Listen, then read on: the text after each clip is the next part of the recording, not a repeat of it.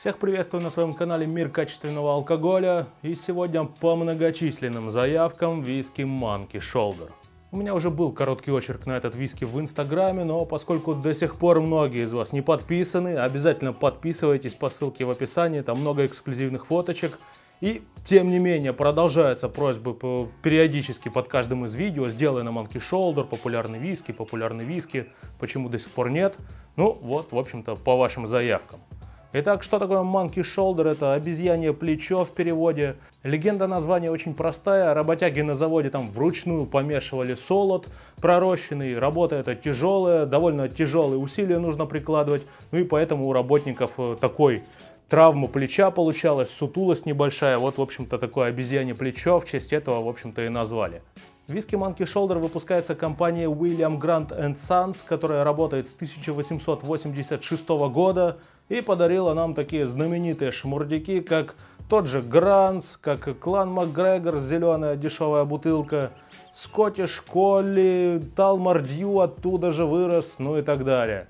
И вот, в общем-то, наверное, один из самых качественных виски с этой винокурни, вискокурни Monkey Shoulder. Monkey Shoulder это купажированный виски, но купаж без добавления зерновых спиртов, то есть только именно солодовые спирты, как раз из трех самых популярных вискокурина Спейсайда. Это Гленфидик, Балвени и Кининви. Последний не так известен, но тем не менее первые два это такие громкие имена. Ну и на бутылке вот эти три обезьянки латунные как раз обозначают три солодовых спирта, входящие в состав Monkey Shoulder. То есть это не просто купажированный, не single malt, это blended malt, купаж солодовых спиртов. Теперь давайте о цене. Моя бутылочка конкретно была куплена за 2100 рублей. Это довольно распространенный для нее ценник по акции. Опять же, без акции она там 2500 до 3000 даже доходит в разных магазинах. Ну и давайте без всяких разглагольствований перейдем уже к дегустации. И постараюсь максимально коротко, максимально подробно вам описать этот виски. Ну, вот если честно, он стоит уже минут 15-20, наверное, дышит.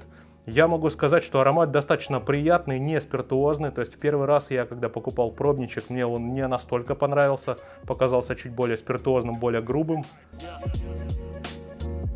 Знаете, такое ощущение, как будто он за эти 15 минут выдохся. То есть, ну, достаточно простоватый и даже какой-то такой водянистый вкус. Есть вот эта маслянистость солодовых, именно спиртов солодовых виски, э, какая-то тягучесть, но тем не менее чего-то вот прям совсем мощного, такого выразительного, плотного вкуса, яркого, да, ощущаемого. Здесь, ну, ничего такого нет.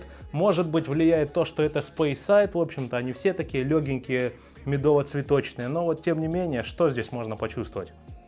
А вкус полностью повторяет аромат. Небольшая спиртуозность есть такая. Конечно, это не супер выдержанный виски. Здесь всего 3 года выдержка. То есть ничего какого-то экстра заурядного нет. Во вкусе, ну, на первом месте, наверное, все-таки мед. Потом немножко ванили, цветочные какие-то вот цветы белые, такие весенние. Ну и все это сглажено деревяшковым привкусом, привкусом бочки. Достаточно простенький, уж извините меня, снова я позволю себе вот такое вот сравнение. Мне даже со стороны уже самому начинает казаться, что меня купил Акинтошин. Э, но, тем не менее, все виски Акинтошин я покупаю сам. Вот Bartender Smoke мне только на презентации подарили. И то без каких-либо там просьб, одолжений и так далее. 2100 рублей за Monkey Shoulder, 2300-2400 за 12-летнего Кинтошин. Давайте сначала их сравним, потом уже по памяти попробую сравнить э, с другими солодовыми виски. Гораздо более бархатный такой маслянистый вкус. Гораздо более обволакивающий. Я не скажу, что это прям три ступени вперед, то есть, ну это где-то на полторы головы выше, наверное, да, чем Monkey Shoulder.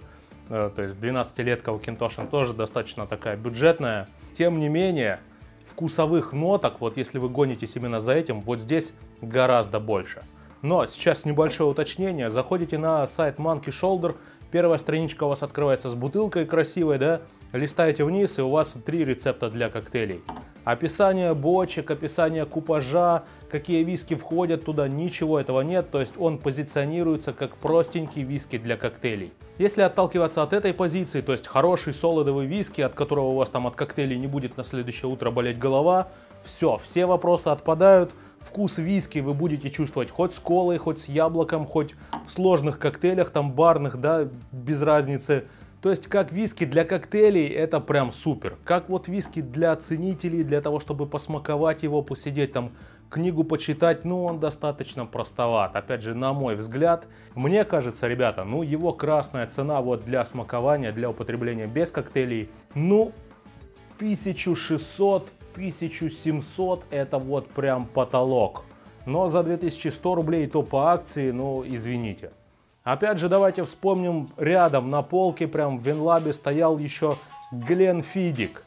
0,5 продавался за 1700 по акции, 0,75, чуть больше бутылочка, продавалась за 2400 или 2500, по-моему. Но Гленфидик уже не 3 года, а 10 лет, во-первых. И он, ну, чуть-чуть еще помягче. И опять же, несмотря на то, что он такой достаточно простой тоже виски, но гораздо интереснее, опять же. Окинтошин тут вообще 12 лет солодовый против 3 лет, да. Что еще можно вспомнить? Ну, довольно часто по акции встречается вот под конец года обычно сливают остатки, коробочки Гленморанжи в подарочных наборах с бокалом за 2 400, 2 500. Сейчас он 2 700 продается по акции, опять же, но довольно часто бывает и по 2 400. Это вообще ни в какое сравнение, то есть, ну, тут он опережает все вот эти виски и Гленфидик в том числе. Что еще? Ну, опять же, из бурбонов, если вот прям вообще последний гроб в крышку Monkey Shoulder, из бурбонов сейчас э, Wild Turkey 101 50-градусный, крутейший бурбон прямо сейчас в перекрестке продается за 1900. Опять же, я не раздумываясь возьму его вместо Monkey Shoulder. Поэтому, ну, как-то резюмируя все вышесказанное, красная цена ему, за которую можно брать и не жалеть, прям не оглядываться, это 1600-1700 рублей. Все остальное, извините, для меня это просто оверпрайс, учитывая, что он ну, достаточно легенький, пустоватый, водянистый, мед, ваниль, деревяшка, какие-то цветочные ноты, все. Простенький достаточно виски, не противный, не спиртуозный, да, но как бы на этом больше мне сказать нечего. Пишите свое мнение, кто сравнивал его вот с подобными виски, которые я перечислил. Возможно, вы скажете нечто другое, мне будет интересно вас послушать, но для меня вердикт, по крайней мере, таков. Ставьте лайки, если вам видео понравилось, обязательно заходите на канал, там все рассортировано по плейлистам очень тщательно, поэтому э, заходите, смотрите, подписывайтесь на инстаграм обязательно, группа ВКонтакте тоже для вас. Ну и до встречи в новых видео, всем пока!